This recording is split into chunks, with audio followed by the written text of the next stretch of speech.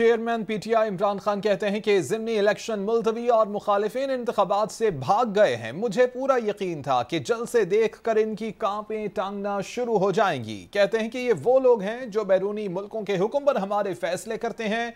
ये अमरीकी साजिश के तहत इकतदार में आए। चेयरमैन पीटीआई इमरान खान ने कहा कि हमें अपने मुल्क को अपने पाँव पर खड़ा करना होगा। अल्लाह ने आगे बारी दी।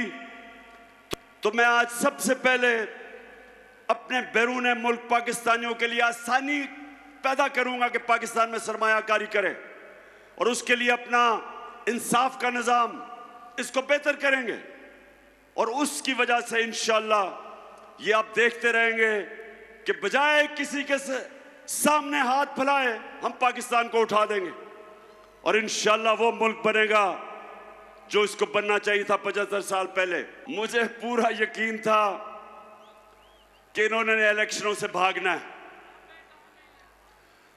बिल्कुल ठीक कह रहे हैं कि मुझे पता था कि इनकी कांपे टांगनी शुरू हो गई हैं।